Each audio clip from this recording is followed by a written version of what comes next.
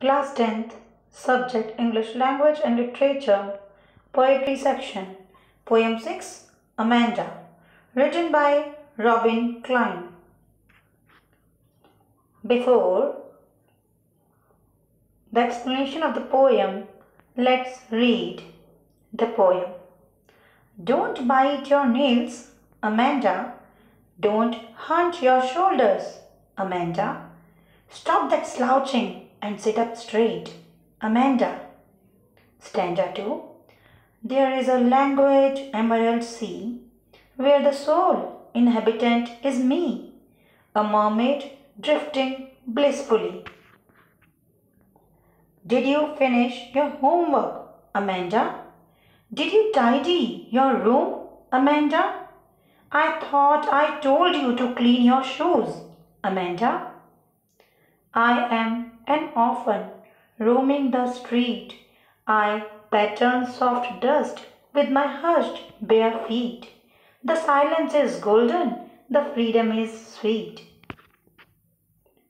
Don't eat that chocolate, Amanda. Remember your acne, Amanda. Will you please look at me when I am speaking to you, Amanda?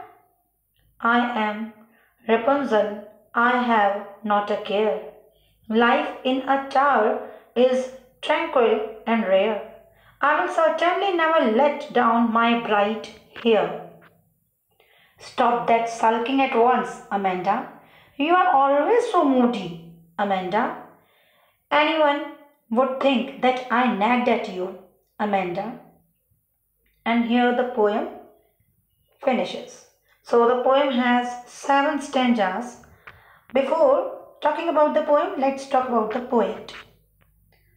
Robin Klein was born on 28 February 1936 in Kempsey, New South Wales. She left school at the age of 15.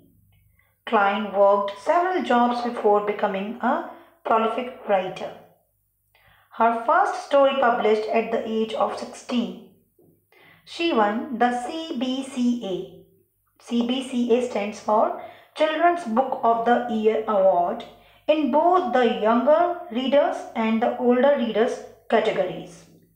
She was conferred with a Human Rights Award for Literature in 1989 for Came Back to Show You I Could Fly. This is a good suggestion to read the book Came Back to Show You I Could Fly. Klein is widely considered one of the Australia's most prolific and beloved YA authors. What does it mean YA authors? Young adult authors. It means young adolescent people. She is very popular among them.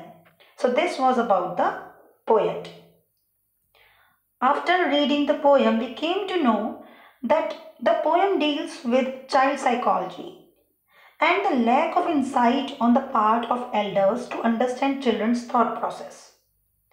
The entire poem of seven stanzas, if you have noticed while I was showing you and while I was reading the poem to all of you, one text is in one stanza is in black and the next stanza is in red in color. That is in parenthesis. Let me show you. It is in parenthesis when someone wants to explain something more than whatever was in uh, continuation, some more emphasis on the explanation, that time parenthesis is used. And here, here this is known as interlude. What do you mean by interlude? It is I N T E R L U D E. Interlude. Interlude is uh, students uh, interval that appears at regular interval that is interlude. Here in this poem after each stanza there is an interlude. In continuation somebody is giving instruction to a girl Amanda. The way it is described talking about uh, mermaid talking about uh, an orphan, talking about Rapunzel. So it shows that the child is a school going child, most probably in her early teens, because it is talking about acne also. So here the character of the poem is one is Amanda and one who is giving instructions, who uh, is continuously checking at the child and she is most probably her mother. So this is whatever is in black text stanza 1 that is addressed to Amanda by her mother. This is a poem that talks about uh, theme child psychology what child feels okay if you are checked every now and then at home how will you feel if you are told not to sit in such way. Not to do particular thing again and again. Don't uh, uh, just uh, keep on raising a volume. Don't speak louder. Don't laugh loud. Don't laugh the way is not appreciable in the society. Sit properly. Walk properly. Walk straight. Your shoulders must be in particular position not bent forward so all these things make person quite irritating. And the child, one who is in early teens, a school going child, the child feels the child is trapped. This problem is faced by many children at home as well as in the school also. They are checked, they are told for some do's and don'ts all the time. And to have an escape from this situation, this difficult situation they find, they just reach to their own imagination. They just reach to the world of their dreams and this makes them a defiant person, disobedient person. Second theme of the poem is the lack of insight on the part of elders to understand children's thought process. Basically, when we tell child, very young child, that you're supposed to do this and not to do that, this no. This no is negative and it makes a person less confident. And various things are there in the uh, present society that we call mannerism. Some ways are there that say that these are the mannerism. One should walk like this, talk like this, behave like this, sit like this. So all these norms, the set norms. Who set these norms? We only. But young children, if they are nagged every now and then, so this will change their thought process and instead of to obey elders, the child would look forward to an escape. Message of the poem To are. A child should never be denied freedom and space. The more they are suppressed, the more defiant they become. Second is importance of a healthy bond between parents and children. And parents should understand the psychology of children.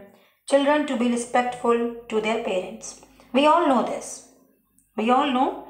But if parents should understand the psychology of children and children to be respectful to their parents, for that a very healthy bond is required between parents and children. They must understand at what time in what tone the child to be checked and how good habits can be inculcated. Good habits can't be inculcated while uh, checking again and again scolding again and again reminding again and again. All these reminders won't solve the purpose.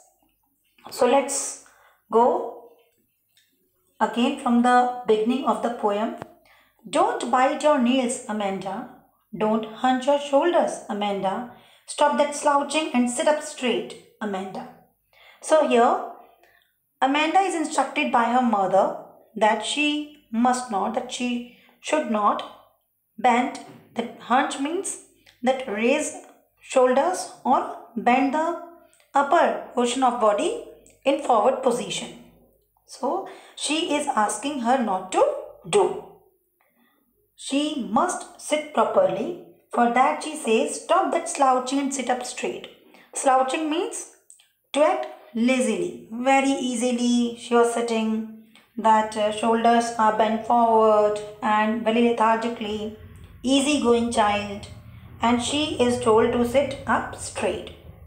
Instead of listening to it, seems the child is listening to her mother. But instead of listening to her mother, she is in her own imagination world.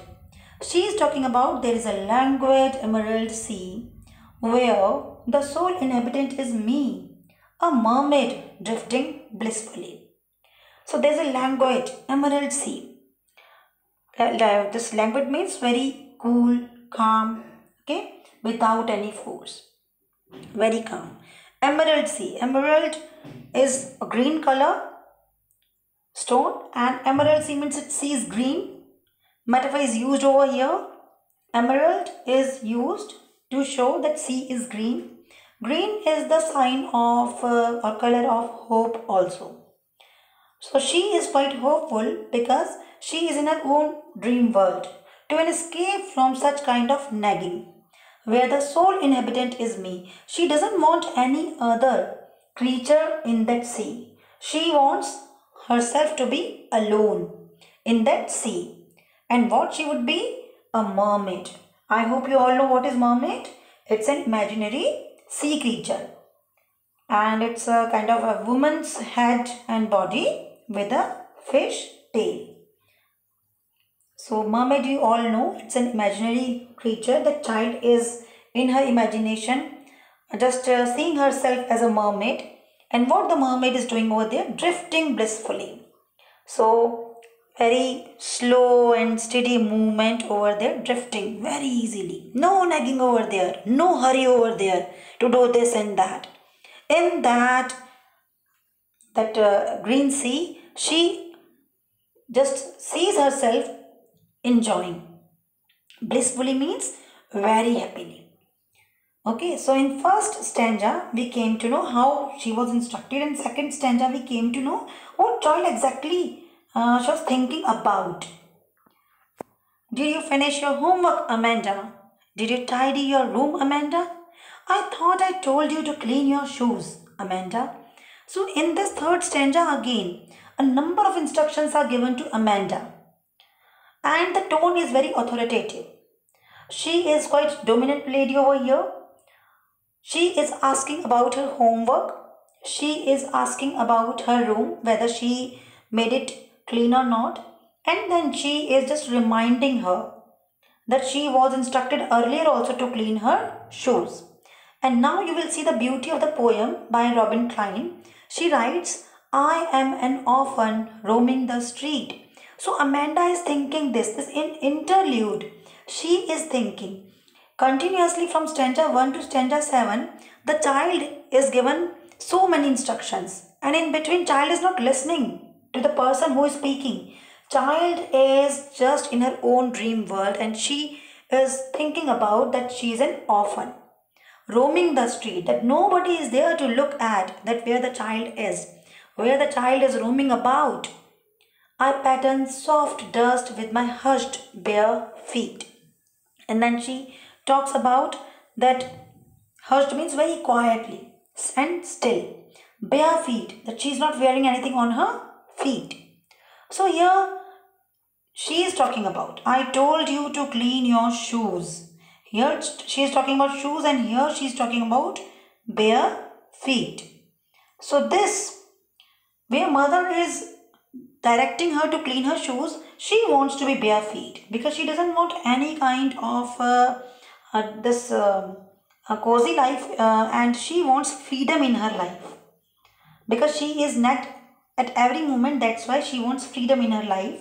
And she says that if she is an orphan, as she is an orphan and she is roaming the street and she just uh, on the soft dust without wearing shoe very quietly very quietly, she is walking bare feet. The silence is golden, the freedom is sweet. And here, you can see the silence is golden and freedom is sweet. Metaphor is used over here, children. Silence is golden because it's quiet over there. No person is around because she is an orphan. No parent is around to make her learn what is right and what is wrong. No person is there, no elderly person is there to tell her whether she is supposed to wear shoes. She is just imagining herself bare feet. That's why she says that this silence is golden because she is she has been continuously necked by her mother. That's why she sees the silence is golden and the freedom is sweet because nobody would interfere over there. That's why it is freedom. Don't eat that chocolate, Amanda. Remember your acne, Amanda. Will you please look at me when I'm speaking to you, Amanda? In this fifth stanza, she is again instructed by her mother. And what instructions were given over here? Not to eat chocolate. Because uh, that's why, because it's right about uh, remember your acne, that's why we can say that she is in early teens and uh, mother is saying that she must be very careful about her beauty also she must not uh, pay uh, such kind of ignorance to her eating habits that's why she is just reminding her not to eat chocolate and then she wants her to look in her face while she was speaking to her though more than speaking the mother was instructing her I am Rapunzel. I have not a care. Life in a tower is tranquil and rare. I will certainly never let down my bright hair. Through these lines, the child Amanda shows her dire uh, that uh, she was quite desperate to be in her dream world. She is saying, "I am Rapunzel." Rapunzel, I hope you all know, it's a German uh, fairy tale and in this uh, Rapunzel was a girl with very long hair. She was taken by a witch and she was uh, kept in a very tall tower. And this, this captivate, this uh, made the child not, that Rapunzel not be able to go out. And whenever witch used to come to uh, the tower, she had to low down her, let her uh, bright hair down. But here she is saying that I am Rapunzel, I have not a care. Not a care means she would not care of anything that is told to her. Life in a tower is tranquil and rare. It will be very beautiful. It, no worry will be there, no nagging would be there, and she would just uh, lead a calm and rare means very unique life over there. I will certainly never let down my bright hair because Rapunzel had to. Just let her bright hair down to uh, get uh, witch on the tower and uh, finally one day she did all these things for a prince also. But here Amanda doesn't want anyone over there to disturb her loneliness. She says that this loneliness this uh, a kind of a cage will be a bliss for her. Stop that sulking at once, Amanda. You're always so moody, Amanda. Anyone would think that I nagged at you, Amanda. So here in stanza 7, mother is saying that she should not keep on sulking. Means that she should not be upset at once and she is told that she was very moody she just uh, keeps on changing her thought process. Anyone would think that I nagged at you. Nagged means to ask somebody again and again for particular things. So here mother is saying that uh, she doesn't uh, want that people would think that uh, she, had, uh, she has been uh, nagging at her daughter. That's why she is asking her daughter not to upset and not to be so moody. Here you will see children that exclamatory sign is uh, there after Amanda and somewhere question marks are there. So this is because these are instructions and she is not told the way children usually uh, addressed by the parents. And then after this no interlude it means child is unable to think about her own imagination that uh, her own world of imagination wherever she was thinking before time now it stopped here mother kept on telling her instructing her and her authoritative nature made the child quite depressed. And this made the child defiant also. Most probably, uh, it's uh, that mother who wanted her child to behave as per the norms of society, a perfect girl child, and that's why long list of do's and don'ts are given by the mother. But feeling annoyed, Amanda brushes aside the instructions and finds escape in dreams of a life full of liberty, where she may live according to her own fancies. So, this is the poem by Robin Klein, and theme and message we have already discussed. I hope you enjoyed the poem, students, because it is very close to you all. And uh, every now and then, whenever you will read, every now and then, when you were instructed maybe in your young age or now so you can easily uh, place yourself uh, in amanda's shoe and feel the pain of a child thank you